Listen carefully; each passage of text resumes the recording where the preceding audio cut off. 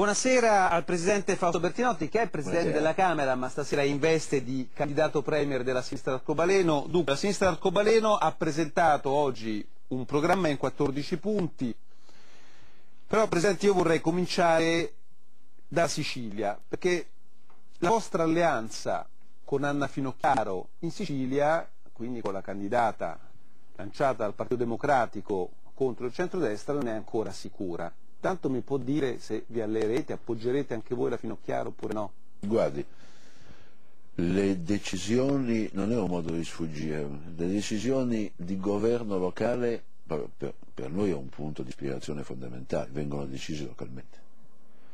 Noi naturalmente c'è un indirizzo generale ed è quello di cercare laddove siano possibili delle alleanze con le forze del centro-sinistra. Ma l'esito di questa ricerca dipende da contenuti programmatici, le caratteristiche che assumono le altre forze del centro-sinistra, di fronte anche a grandi temi. Quindi è un- c'è un lavoro in corso eh, in Sicilia, è stato anche indicato un tandem di due donne che potrebbero guidare la coalizione tra queste forze, la sinistra Arcobaleno e il Partito Democratico, in Anna Finocchiaro e Rita Borsellino, che è reduce da una straordinaria esperienza di partecipazione, di costruzione di movimento. Le forze dell'Arcobaleno lavorano in questa direzione e decideranno. Glielo domando, sa perché glielo domando? Perché è nato un problema sulla Sì, Finocchiaro, no. perché Anna Finocchiaro in veste nazionale, mettendosi come dire il vestito nazionale, ha, ha parlato del voto utile per il PD, quindi diciamo inutile per voi sostanzialmente, e questo ha fatto come dire, reagire nervosamente No, la sinistra arcobaleno. Sono due temi distinti. Eh, La, la figu- la figura del Finocchiaro come dirigente nazionale del Partito Democratico si esprime su quel terreno, subisce una replica molto dura anche da parte mia, secondo me meno sempre di quello che si meritava, perché una leader del Partito Democratico che dice sostanzialmente votate per i due grandi partiti, il che vuol dire che se non voti il Partito Democratico è meglio, è meglio votare per Berlusconi che per la sinistra arcobaleno, si capisce bene che dice una cosa impresentabile. Per questo che No, ponevo un no, problema di coerenza, no, perché poi alla fine questo il, suo. il È- voto è- nazionale e il voto suo. amministrativo si sovrappongono No, il suo 13 di aprile. È un problema soltanto della Finocchiaro. Il problema invece in Sicilia è quello di costruire, se esiste un'alleanza su una base programmatica forte, capace di portare avanti l'antimafia sociale, di affrontare i grandi problemi di, di questa regione che avrebbe una grande possibilità davvero nel Mediterraneo di, di rinascere e che invece è strangolata dalle sue classi dirigenti. Senta, invece a Roma con Rutelli avete ricevuto garanzie che il programma tra, tra voi e Rutelli è compatibile? È stato fatto l'accordo, eh, non, non solo compatibile, insomma, che, che si sono determinati dei punti di convergenza importanti, del resto la- la- da 14 anni lo schieramento de- della sinistra, del centro-sinistra governa Roma, Non lo dico perché voi vi ispirate nel vostro programma molto a Zapatero, nel senso sul terreno delle, degli unioni civili, dei rapporti diciamo, tra persone anche dello stesso sesso. Mi pare che a Roma la linea Veltroni, di cui Rutelli garantisce una continuità, sia quella per esempio di non mettere i registri per le coppie di fatto, beh, di ma- non ma- istituirli. sì, ma Questo che- può essere ma- un ma elemento noi di siamo, rottura. siamo stati fino a ieri, anzi ancora oggi al governo a Roma con Veltroni, non, non è che sia scappato. Il fatto che abbiamo dei dissensi su questo, que- le coalizioni propongono sempre un- qualche area di dissenso, sempre. In questo caso l'abbiamo manifestato co- appunto come sinistra arcobaleno. A livello nazionale noi abbiamo una piattaforma chiarissima, da- dalle unioni civili al riconoscimento dei diritti di tutte le differenze, una nuova idea della cittadinanza, faremo su questo una grande battaglia politica e culturale. Tanto correte da soli. Eh, ma, eh, Appunto, dico, quindi non dovete e quindi sottostare a logiche di e coalizione. quindi facciamo valere le nostre ragioni. Quando si fa una coalizione bisogna vedere se la convergenza è tale da essere accettabile per tutti quelli che lo compongono. E noi anche candidando eh, una, una persona come Patrizia Sentinelli come un punto di riferimento importante per questa coalizione diciamo chiaramente quant'è forte la ricerca di una unità a Roma per governare la città anche riprogettando un nuovo orizzonte per Roma e quanto teniamo a far valere le ragioni che non solo quelle che dice lei, anche quelle delle in particolare delle grandi periferie urbane, di come si vive lì, di qual è la qualità della vita. Dei piani urbanistici. Dei piani urbanistici, certamente. Dunque, in Liechtenstein, eh, ci dice Vincenzo Visco, ci sono almeno 150 grandi evasori italiani che hanno nascosto lì dei soldi. Eh, ci sono le liste, si parla di imprenditori, forse di politici.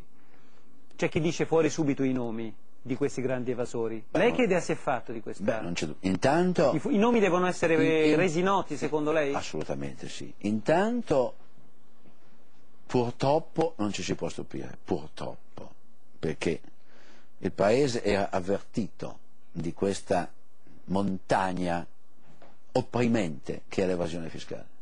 Si calcola che tra 100 e 200 siano i miliardi di evasione dell'anno, in un'economia in cui il 25% è sommerso.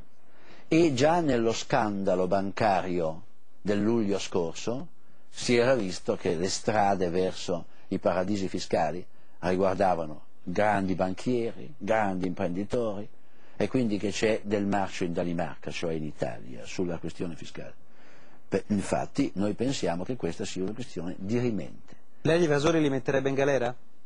Ma guardi, eh, quelli che fanno dei reati tali da meritarsi la galera, sì, perché... Cioè bisogna inasprire sì. le pene per gli No, evasori no, fiscali? bisogna cercare gli evasori, no, non, non sfuggiamo, come sempre, si scavalca sempre. Gli evasori possono essere colpiti come è necessario, soltanto che bisogna fare una battaglia a fondo per questo. Credo, come diciamo, che bisognerebbe dire in un anno di quanto riduciamo l'evasione fiscale, nel secondo anno di quanto, il terzo, il quarto e il quinto di quanto. E se non si raggiungono questi obiettivi si va a, un'auto- a un'autocritica severa, si capisce dove stanno le cose che non funzionano. Perché quando si ha un'evasione fiscale che è quattro volte la media europea e si ha metà della popolazione che dipendendo dal lavoro dipendente non può evadere perché ha il prelievo alla fonte, la lotta all'evasione, se non la fai, è la prima delle colpe Ma politiche. secondo lei bisognerebbe applicare delle sanzioni, degli embarghi a questi paesi che favoriscono l'evasione fiscale? Parlo, Certo, parlo dell'Europa, ma di. Andorra, Principato di Monaco, non c'è dubbio, Liechtenstein. ma non c'è dubbio, ma non c'è dubbio, bisogna... Cioè, il governo italiano dovrebbe fare delle sanzioni, Il, go- no, il governo italiano dovrebbe battersi in Europa perché l'Europa stabilisca delle sanzioni in questa direzione, che abbia una forza per stabilire. Ma intanto, Mm. anche qui, insisto, non si sfugga dalle responsabilità, perché l'Italia ha un'evasione fiscale che è quattro volte la media europea. Quindi faccia intanto come gli altri paesi europei. Anche per gli altri europei, paesi c'è il Liechtenstein e si vede per la Germania. Tuttavia noi abbiamo un'evasione che è cinque volte tanto la Germania. Allora, prendiamoli, mettiamo in galera se ci sono dei reati da galera, in ogni caso esponiamo al ludibrio della nazione i grandi evasori che sono in comportamenti questi sì A contro servono- la patria a questo serve pubblicare le liste, dice lei. vengono Una denunciati una sorta di pubblica gogna per ma- gli evasori. Beh, ma loro hanno messo, hanno messo il paese in una condizione di non avere risorse necessarie per, per fare l'asilo nido per un bambino, ma le pare una responsabilità da poco? Se lei diventasse premier, eh, se lo prenderebbe Visco come ministro delle finanze? Io penso di sì. Gli chiederei di dichiarare più apertamente, io capisco un uomo che ha fatto il ministro delle finanze con coerenza, ma penso che questo terreno della lotta fiscale bisogna farne un terreno anche di lotta politica pubblica, una grande battaglia di riforma pubblica. Mi viene in mente a proposito di evasione che voi faceste in campagna elettorale nel 2006 un manifesto che non so se la regia può rimandare in onda, se ce l'abbiamo, che si chiamava Anche i ricchi piangano. Lo rifarebbe? Eccolo Beh, qua. io no- non lo posso rifare perché non l'ho fatto io, non era il il partito cui- in cui milito, ma allora mi occupavo di altro, lo facevo a pieno tempo il Presidente del- della Camera dei Deputati. Tuttavia è evidente un gioco iperbolico, no? Perché tanto i ricchi poi non piangono mai, intendiamoci bene da questo punto di vista, ma, ma quel panfilo che si vede a volte è totalmente esentasse. C'è qualcuno che si sente di difendere una condizione di questo genere? Quindi la rifarebbe? Cioè, detto, non l'ha fa- non l'ha l'ho fatta detto, lei, ma, la, non- la apprezzerebbe. guardi, ma ecco. non, non- non mi piace giocare sulla battuta, io vorrei che quello lì pagasse le tasse, Bene. come almeno quanto il lavoro dipendente, vede? Perché poi quel signore quando paga le tasse, perché magari li ha prese con i soldi delle stock option, eh, ha un prelievo fiscale che è la metà di quello del lavoro dipendente, il quale paga circa il 23, 24, 23% sulla sua busta paga, il 23%, e il miliardario che prende le stock option paga il 12%. Dunque, pedofilia, Walter Veltroni non ha escluso l'ipotesi eh, della castrazione chimica. Naturalmente ha dato un giudizio molto diciamo, prudente, dicendo bisogna verificare l'efficacia, ma non l'ha diciamo, negata decisamente. Lei? Io trovo che questa politica degli annunci a chi la dice più forte, più violenta, sia cattiva educazione. Già, già il Paese l'ha visto in passato, c'è un evento drammatico, succede una tragedia, allora la, la questione della sicurezza si pone con una a, drammaticità e tempestività, fai un gesto simbolico, vari un decreto, poi adesso nessuno si chiede se quel decreto è stato approvato o no, in realtà non è stato approvato, e allora adesso si usa un termine violentissimo, castrazione chimica, violentissimo, ma perché? Quando persino studiosi che, hanno, che lavorano sistematicamente su questa questione dicono della totale incertezza degli effetti di questo eventuale intervento rispetto all'obiettivo perseguito. Un depotenziamento abbiamo, diciamo, ormonale ab, del, del, soggetto abbiamo, in questione, di questo stiamo parlando, cioè di una cura farmacologica. autorevolissimi farmacologi di, dicono che è indubbio il risultato. E chi ne parla anche con grande attenzione chiede prudenza. Perché la politica deve spararla così grossa? Allora mi dice lei come, come, come, come si fa a togliere da una strada un pedofilo pericoloso? Perché naturalmente questa no, scusi, è nato da un fatto preciso, no, questa, questa, questione della castrazione vabbè, chimica, certo, da, da, una violenza a una cioè, bambina di 4 anni questa, da parte di un pedofilo che era in libertà, questa, nonostante questa, fosse recidivo. Perfetto, su questa escalation non ci fermiamo più, eh? anche il linciaggio diventa buono, no? Tutto, tanto dobbiamo, dobbiamo eliminare nel modo più breve. Io faccio notare il fallimento di tutte queste ipotesi, tutte queste presuntuosi proclami hanno lasciato sul terreno soltanto guai maggiori.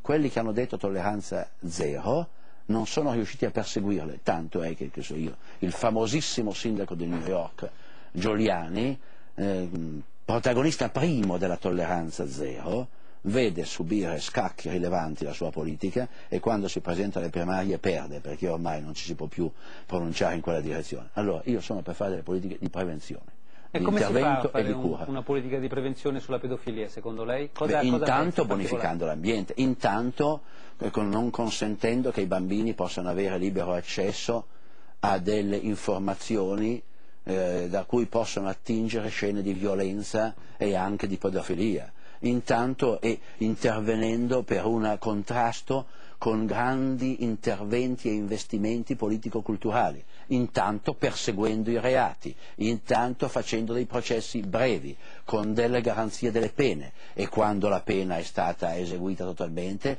con un seguito di, di, di, intervento terapeutico quando necessario, terapeutico e comunque di controllo in modo che non si possa esercitare. Ma siccome tutte queste cose sono difficili, si, pre, si pretende invece di farle e di misurare l'inefficacia della pubblica amministrazione, l'inefficacia della giustizia, di cui portano le responsabilità ovviamente alle classi dirigenti, fare la fuga in avanti, di gridare una cosa che colpisce emotivamente la gente, in modo che i processi continuano a non finire mai, che, che le, le pene continuano a non essere realizzate e che quando anche colpiti dalle pene, qui deve non essere seguito né dalla terapia né dal controllo. Allora, eh, le faccio vedere un attimo un vostro candidato indipendente alle scorse elezioni, che era Francesco Caruso. Eh, Paola Baruffi eh, riassume un po' la sua attività in questi 20 mesi. Il 21 febbraio 2006 il No Global Francesco Caruso dichiara La sovversione non è un diritto, è un dovere. Un mese e mezzo dopo Caruso è deputato, eletto come indipendente nelle liste di rifondazione comunista. 13 novembre 2006. Ho seminato alcuni semi di marijuana nelle fioriere del cortile della Camera dei Deputati e sono in questi giorni già sbocciati i primi germogli. Si scatena una bufera politica e lui ritratta. Queste forme di provocazione di guerriglia comunicativa servono per aprire il dibattito nel nostro Paese sull'assurdità di una legge che per una piantina vai a finire in galera. Il 9 dicembre 2006 si rinchiude nel CPT di Crotone per protestare contro le condizioni in cui vivono gli immigrati. 18 gennaio 2007 sostiene di aver trovato due Molotov alla Camera e dichiara Forse sono le Molotov sparite dal Tribunale di Genova, il famoso corpo del reato dell'aggressione alla Diaz.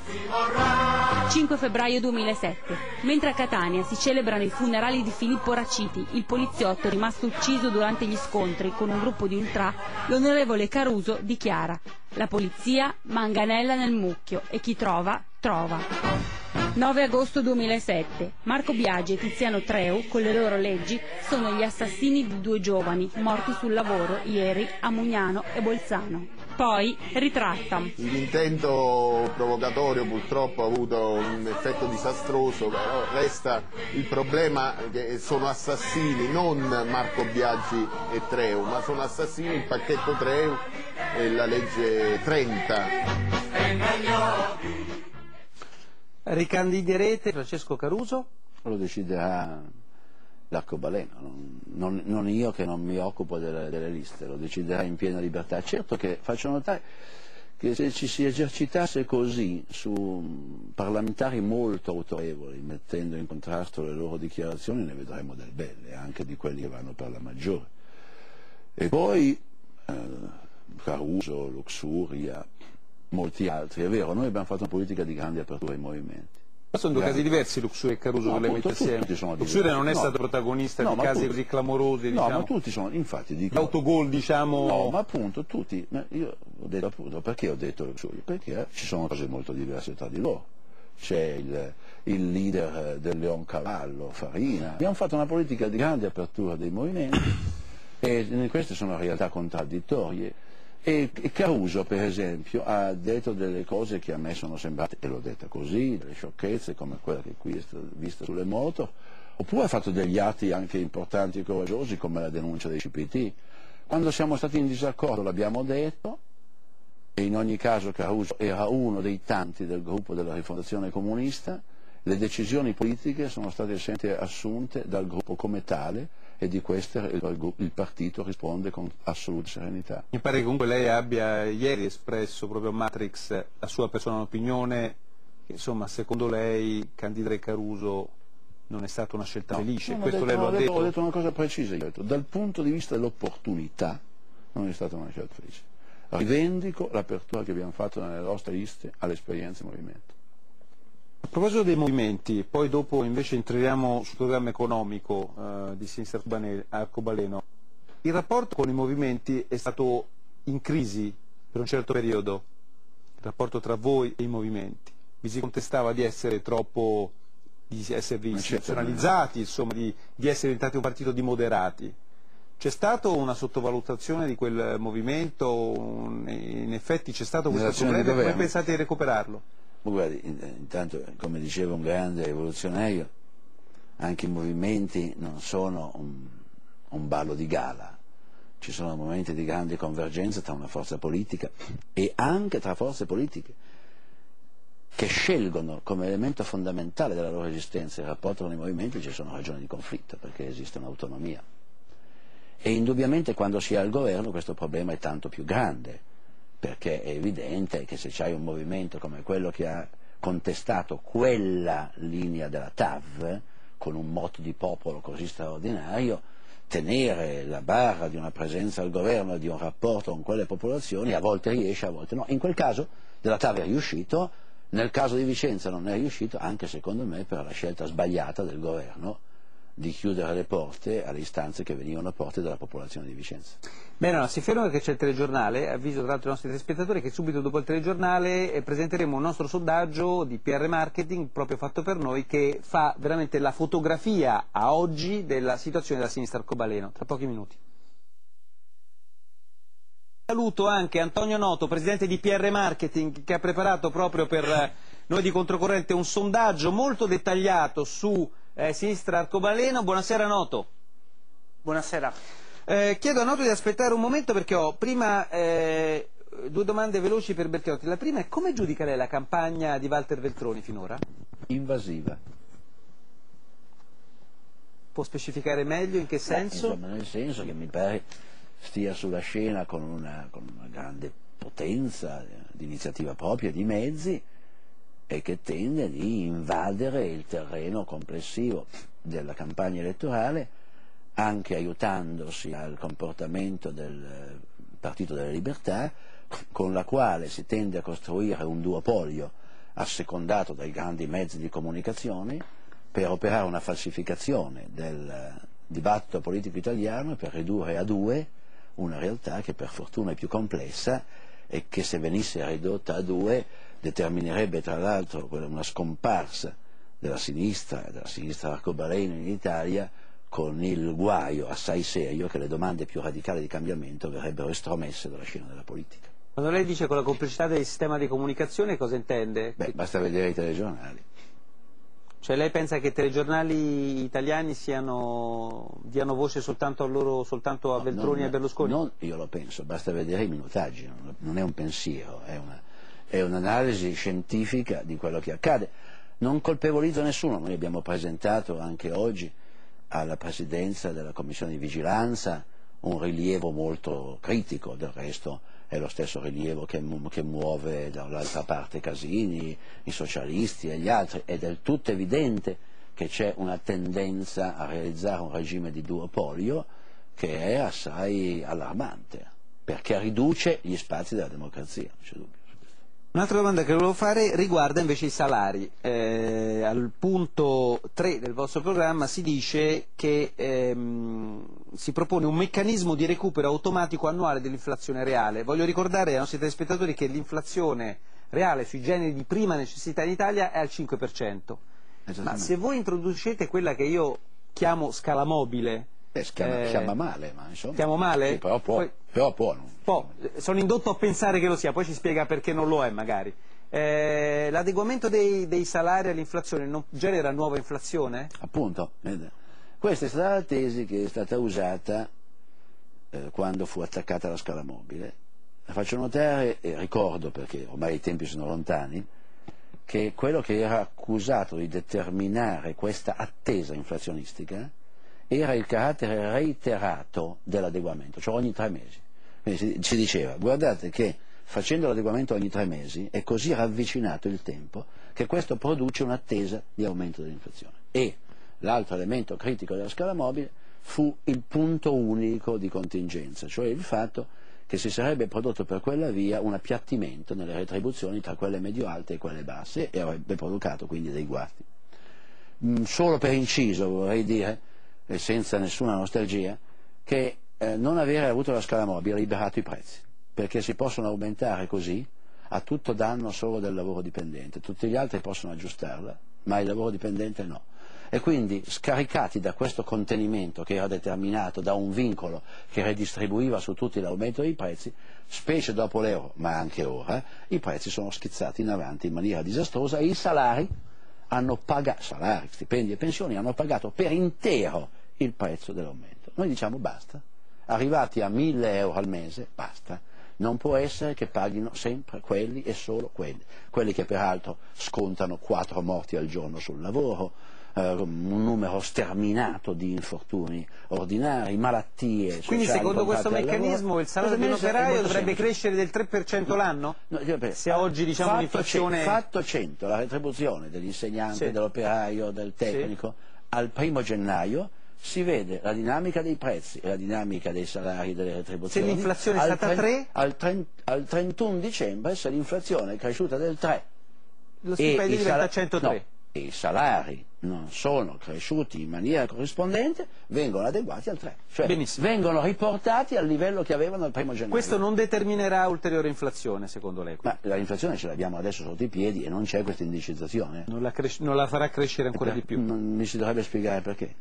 Per quale, qual è la ragione? perché l'adeguamento in genere Ah, perché, non- perché i, i di salari non vengono di più tagliati. e quindi di far Sì. salire ancora Sì, l'inflazione. Questo è quello che dicono gli economisti. Sì, perché insomma. naturalmente uno se passa da 1000 euro al mese a 1100 fa uno s- sfracello di acquisti che rovina l'economia del paese.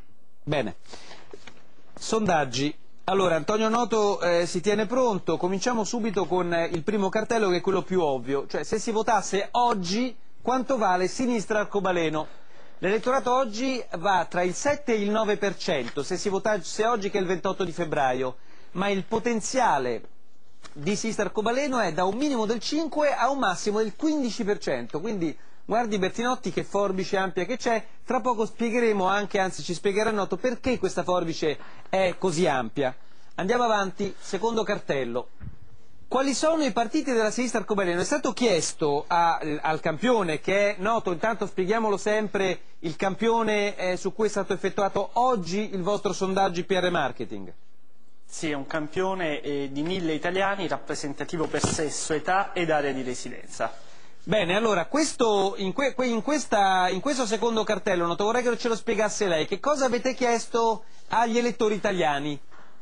Ecco, noi abbiamo chiesto, poiché il, il simbolo sinistra democratica è un simbolo nuovo, abbiamo chiesto Sinistra agli italiani se... eh, sinistra arcobaleno, mi scusi.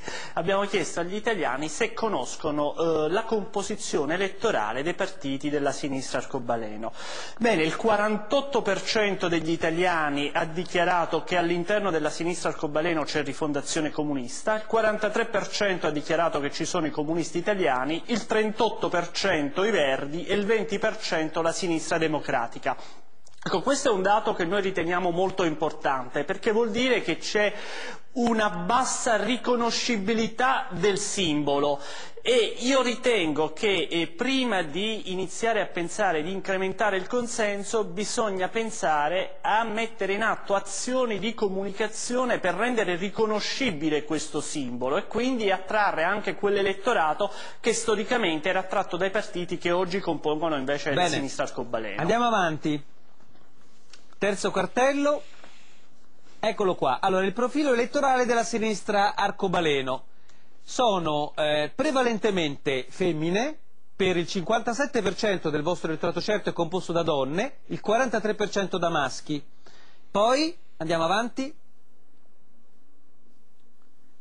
sono per lo più di, metà, di mezza età, tra i 35 e i 54 anni per il 52% degli elettori, avete pochi giovani, Presidente Bertinotti, solo il 17% Beh, va tra i giorno- 18 e i Scusi, 34 vi anni. faccio notare che il sondaggio pubblicato da Mannheimer l'altro giorno ci dava una delle più alte percentuali di giovani tra tutto il panorama politico italiano. Mistero, noto, può essere, può essere una metodologia diversa? Che cosa può portare una- un, un risultato così differente? Cioè attribuiva un- una Allora, non percentuale dobbiamo, co- eh, alta come la Lega, cioè tra i più alti in percentuale. Noto? Presidente, non dobbiamo confondere i dati, eh, nel senso in questo momento noi abbiamo diviso, come abbiamo visto in tabella, l'elettorato certo e l'elettorato potenziale. Sì. Nell'elettorato certo oggi noi abbiamo il 17% dei giovani, nell'elettorato potenziale, cioè quello che poi interessa maggiormente l'incremento elettorale della sinistra arcobaleno, addirittura i giovani possono arrivare al 43%, quindi vuol dire che questo partito ha una forte potenzialità di crescita tra i giovani. In questo momento appare debole. Bene. In questo momento il Partito Democratico ha il 7-8%, se è fortissimo tra i giovani avrebbe il 13-14%. Quindi stiamo parlando di una potenzialità che può eh, fare in modo che la sinistra arcobaleno possa acquistare È consenso. importante dividere tra elettorato certo perché certo è se si andasse a votare oggi 28 febbraio, eh, potenziale sono quelli che prendono sì. in considerazione l'ipotesi di votare per eh, la formazione capeggiata da Bertinotti. Andiamo avanti. Perfetto. C'è un altro profilo che riguarda invece il titolo di studio. Allora, chi oggi eh, vota certamente per sinistra arcobaleno ha un titolo di scuola superiore nel 53% dei casi, eh, rispetto alla popolazione elettorale che è il 36%, significa che è decisamente sopra la media la composizione colta diciamo, del- dell'elettorato E vostro. questo è tradizionale. Inferiore il 47%. Andiamo avanti. Un altro cartello. Ecco, questo è importante. I flussi di voto. Ce li spiega Noto? Sì, eh, ecco qui prendo anche io, esattamente. Noi abbiamo analizzato a questo punto l'elettorato certo, quindi fatto pari a 100 coloro i quali oggi votano la sinistra arcobaleno, abbiamo eh, analizzato cosa hanno votato due anni fa, le politiche del 2006. Il 35% degli elettori di oggi della sinistra arcobaleno votò rifondazione comunista, il 15% i comunisti italiani, il 18% i verdi. Ma il dato interessante per il Presidente Bertinotti noti può essere che il 17% dell'elettorato di oggi, certo, di sinistra arcobaleno, votò nel 2006 l'Ulivo. Quindi è vero, in tutti i flussi ci sono sicuramente flussi di, di andata e di entrata eh, da e per il, il Partito Democratico, però la sinistra arcobaleno rosicchia qualcosa anche dal Partito Democratico, non cede solamente consenso al Partito Democratico. E qualcosa anche dall'Italia dei Valori. Andiamo, andiamo avanti al prossimo cartello.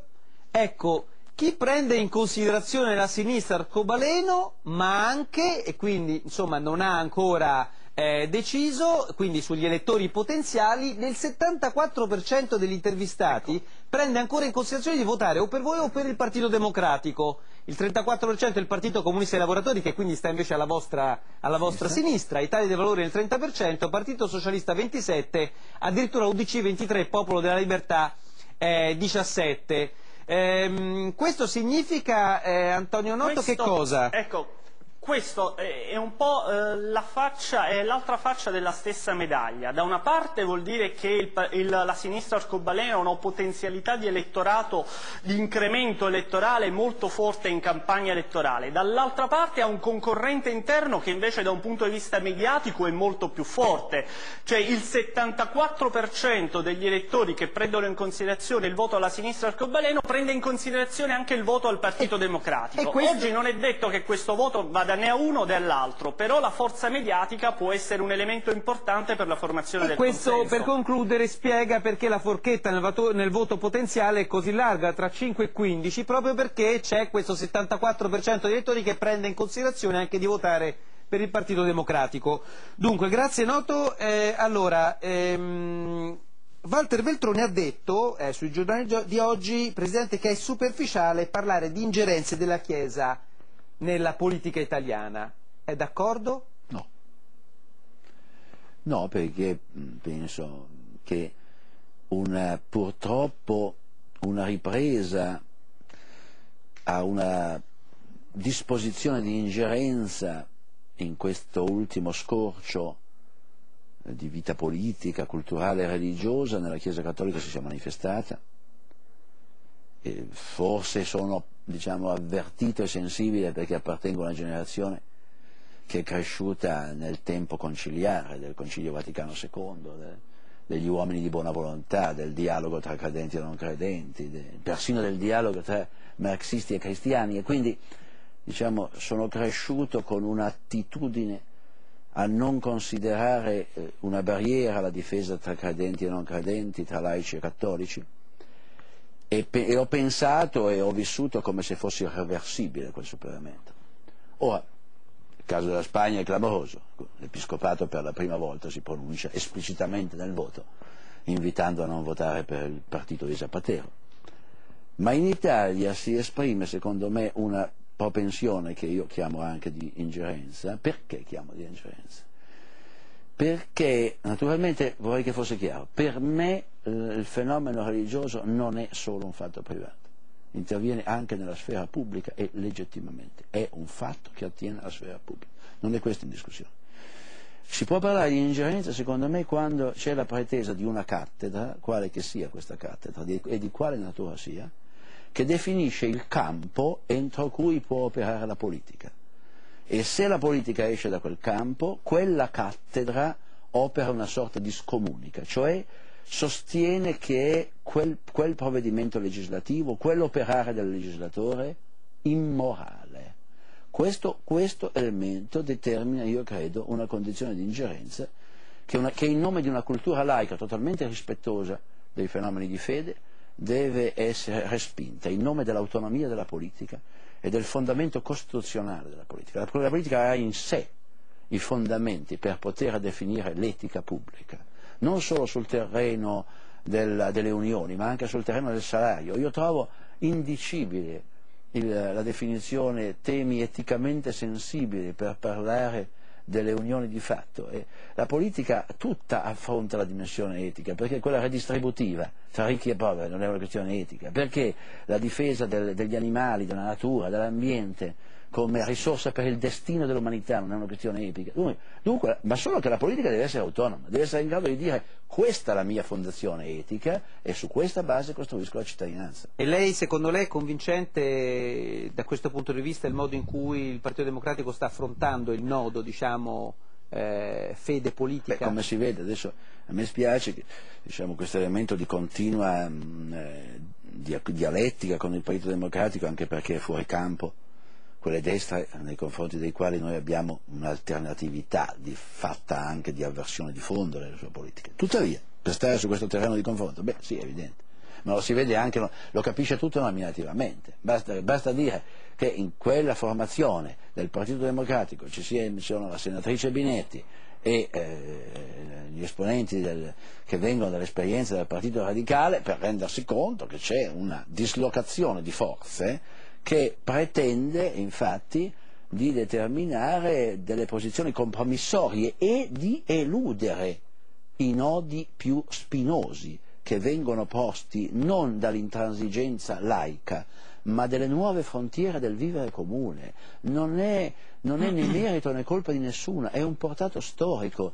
Se ci sono tante persone in Italia come in Europa che oltre che unirsi in matrimonio secondo un sacramento che io rispetto molto, si uniscono di fatto. E si uniscono di fatto anche secondo proprie vocazioni di affettive, di amore e persino rispetto alle proprie opzioni sessuali. Allora di fronte a questo, come si dice, non, banalmente non si può tenere il piede in due scarpe, io so che è dolorosa la scelta, ma è richiesto, è richiesto di farla, è richiesto di, chied- di sostenere i diritti delle persone contro i limiti posti da tutte le cornici conservatrici. Bene, eh, ancora un paio di domande. Eh, missione all'estero, se governerete, chiederete il ritiro delle nostre missioni dall'Afghanistan, per esempio? Beh, intanto, premessa, io penso che la politica estera del governo Prodi sia una delle cose buone, non moltissime, che questo governo ha fatto. Sostanzialmente una politica di pace, che è cominciata con il ritiro delle truppe italiane dall'Iraq. In questa politica estera, anche di apertura ai paesi del sud del mondo, all'America Latina, ci sono dei punti di compromesso, uno di quelli è l'Afghanistan, oppure ci sono stati secondo me anche qualche errore come quello recente sul Kosovo, ma dentro una linea sostanzialmente che va apprezzata come sì. una nuova collocazione dell'Italia. Nell'Afghanistan noi siamo di fronte a un fallimento evidente noi abbiamo sostenuto la conferenza di pace perché la via d'uscita va cercata insieme, non c'è un elemento avventurista, cioè io adesso scelgo, devo, so, sono in una coalizione di forze, devo muovermi perché la direzione di marcia sia chiara. Qual è la direzione di marcia? Dare una soluzione politica all'Afghanistan e non una soluzione militare che è impossibile. Quindi lavorare per recedere dall'attuale presenza militare. Quindi eh, lavorare al ritiro delle truppe da, italiane da, da, uscita da un nuovo assetto, conferenza di pace, ritiro delle truppe NATO, nuove forme di intervento di organizzazione. Beh, la Fondazione Comunista aveva votato a favore della riconferma delle missioni in Afghanistan. Quando c'era un governo che era in grado di praticare una linea di politica internazionale che garantiva ciò che si chiama il contratto, cioè cosa devono fare i soldati lì, e che chiedeva una conferenza di pace. Venendo meno questa garanzia è evidente che cambia la natura di quella presenza. Bush ha detto no al dialogo con Raul Castro, successore Fidel Castro, perché lo ha definito un tiranno e quindi con un tiranno non si dialoga. Per lei, anche per lei certo, è un certo, tiranno? Certo che per chi ha eh, scaricato valanghe di bombe sulle popolazioni inerme dell'Iraq di, è poco conveniente usare questi termini, no, dovrebbe essere indotto il, il, chi ha condotto l'America ad, ad, uno dei punti di maggiore impopolarità che abbia mai avuto nella sua storia nel mondo ad essere più prudente, specie nei confronti di quel Sud America in cui tutti i paesi, dal Cile della Bachelet al Brasile di Lula, all'Argentina di Kirchner, al, Venezuela di, di Chavez, Quindi non- eccetera, tutti rivendicano un'autonomia degli Stati Uniti d'America. Però si provi ad andare, io facciamo così. Però mi scusi, siccome lei invece non le ha scaricate le bombe sull'Iraq, le ha scaricate Bush, lei la può usare il termine tiranno per Al Castro? No. Eh, io uso lo stesso termine che usa Lula, Cioè? cioè il capo di un paese che ha difeso la sua autonomia dagli Stati Uniti d'America dopo una lunga rivoluzione, anche facendo qualche errore. Pensano Qualche errore, sono poi prigionieri politici, Sì. eh, morti diciamo per Sì, opposizioni che, sono, politiche. che sono stati, che sono stati da noi criticati anche andando ad un conflitto aperto con il regime di, di Cuba, ma senza ignorare quello che nessun paese latinoamericano, è solo la boria di certa parte dell'Europa, dimentica, cioè un'esperienza che sotto il blocco americano ha provato a sopravvivere difendendo l'autonomia. Detto questo, io sono contro i processi politici, tanto più contro la pena di morte e quando è accaduto abbiamo detto con grande nettezza il nostro dissenso, anche se il protagonista di quelle scelte si chiamava Fidel Castro. Allora, grazie ad Antonio Noto, grazie a Fausto a Bertinotti, lei. Ilari Obama per chi sceglie, però abbiamo veramente già sforato. Tra Hillary Obama, naturalmente. Obama? Bene, grazie per essere stato con noi, grazie a tutti. Controcorrente torna eh, lunedì prossimo alle 22.35 come sempre. Buonanotte.